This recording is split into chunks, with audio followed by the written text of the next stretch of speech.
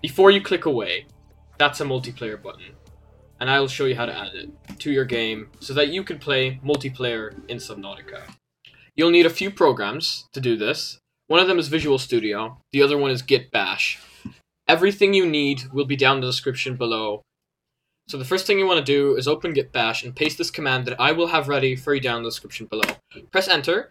That'll download the entire repository from Nitrox, including Harmony, which is a file that is needed to run Nitrox. So once that's downloaded, you go to your documents folder. There we go. Oh my god, all this stuff. Hidden files. Hide the hidden files. These are videos that haven't come out yet, and yeah, hide them. You go to your Nitrox folder, and in your Nitrox folder, you'll find this, right? So, here's what you do next. If your Steam is installed on your C drive, you're all ready to go. You're fine.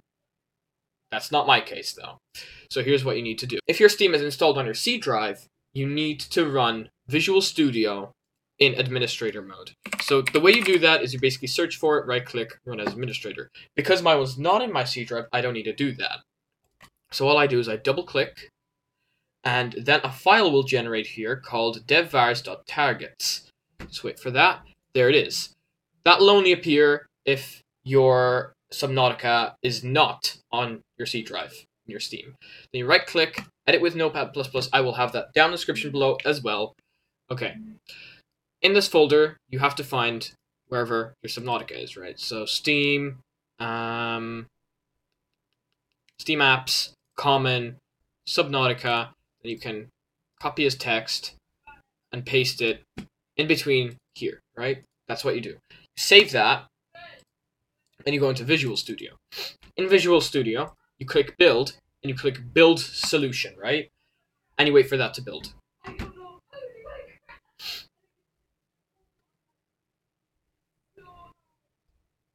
Once that's done building, it should say 8 succeeded, 0 fails, 0 up to date, 0 skipped, right? So once that's done, that's perfect. That's like one of the harder parts. If you get errors here, comment down in the description below. I will do my best to help you. Okay, so once this is done, we're on to the next step. Okay, the next step is my files are all over the place, as if you haven't realized that. To download DNS Spy, or whatever you want to call it, that's just what I call it. You open this, no need to run administrator. Okay, so once you have DNS Spy open, you press Control and O. That'll give you a window to open a file. Here, you need to go into that common folder again, and Subnautica underscore data managed an assembly C sharp. Once you have this open, you go into this little search bar here. In this little search bar, you search for game input. Capital G, capital I. Yeah, if you know how to type. Then you double click on that. Then here, you press Control and F, or not. You press Control and F, and you type in awake. Okay, now that you have awake, you click down here in between, like just after that little squiggly line, right? You click on that. You press Control Shift E. That'll open this window right here, right? This is very important. This window has to open. Leave your cursor where it is. Click this little thing down here. That will open a file, right? If you did everything correctly in that same managed folder, in the steps earlier, a file, sh file should have been created.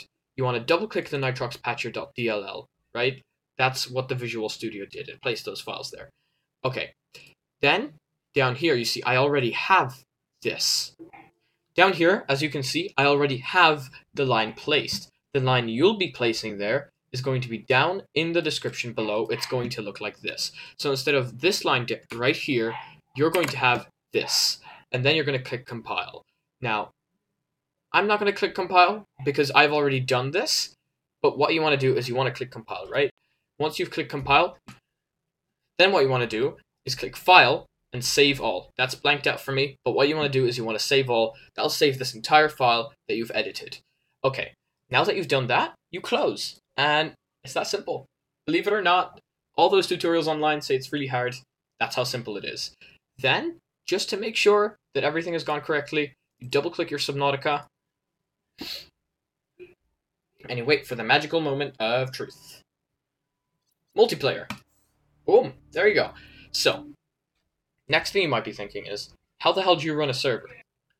Then what you want to do is you want to go back into your documents, into Nitrox, and into Nitrox server, bin, debug, and double click on Nitrox server. Now what I do is I run it as administrator, just in case I like doing that.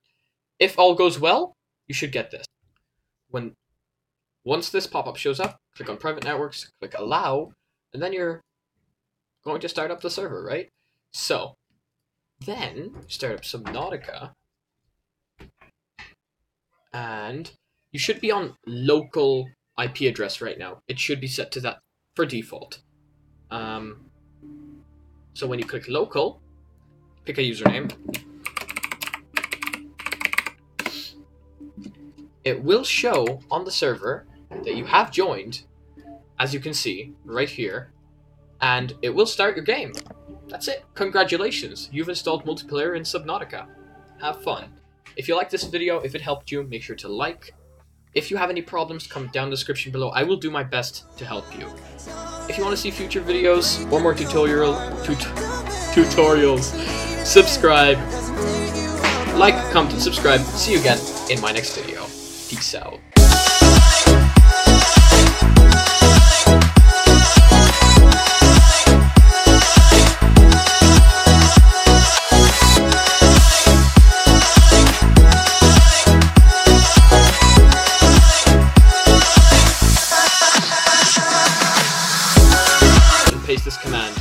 Command. Is going to be fuck sake Maya. For God's sake, I was this